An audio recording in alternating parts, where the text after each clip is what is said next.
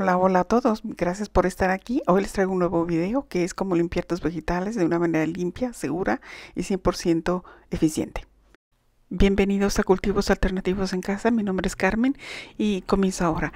Em, una vez que tú hayas seleccionado tus vegetales los, y, hayas ido al mercado o a un lugar donde tú quieres tus productos, los seleccionas, eh, comienzas a lavarlos para poder guardarlos o usarlos de inmediato cualquiera que sea el caso. El producto estrella es la sal.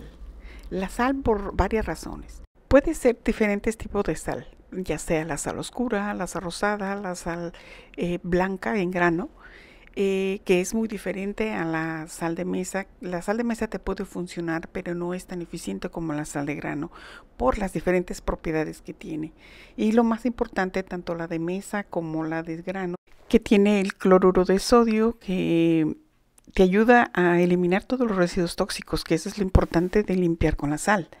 Eh, dentro de la sal marina tenemos que tienen estos elementos que es muy nutritivo y muy bueno para tu salud. Eh, es cierto que no se van a ingerir, pero a veces quedan trazas dentro del lavado que te pueden ayudar a esto. y es el calcio, por ejemplo, que te calman los, las células de la piel y te fortalece la limpieza de los poros.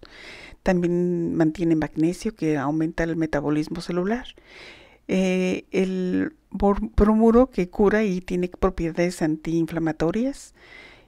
El cloruro, que en este caso es para los residuos tóxicos, también contiene zinc y azufre en menos proporción, pero es muy bueno para tu salud.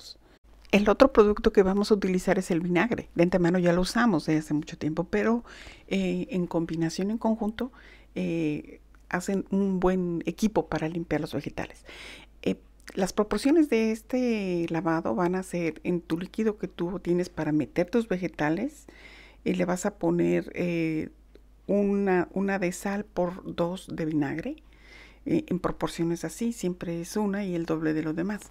Eh, y, y, vas a poner tus vegetales ahí, los vas a dejar reposar unos 10 o 15 minutos. A partir de eso, eh, comienzas a, a, a, tallar un poquito tus vegetales y los dejas escurrir sin llegar a secar ni con trapo ni con negado. Simplemente los dejas secar ahí y después guardas. Sé que a veces no se tiene mucho tiempo, pero esto es lo ideal. Esto también te sirve para tus cultivos, los que tú vas a cortar y consumir. Puedes preparar tu líquido y simplemente poner ahí los vegetales que vas a hacer, dejar escurrir y esto funcionará rápido. Yo sé que es a veces más cómodo llegar y cortar tus vegetales y cocinarlos, pero es importante que los limpies por tu seguridad. Como ves, esto es muy práctico y muy funcional.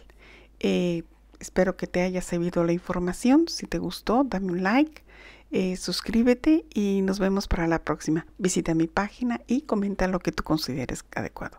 Gracias por estar aquí. Hasta pronto.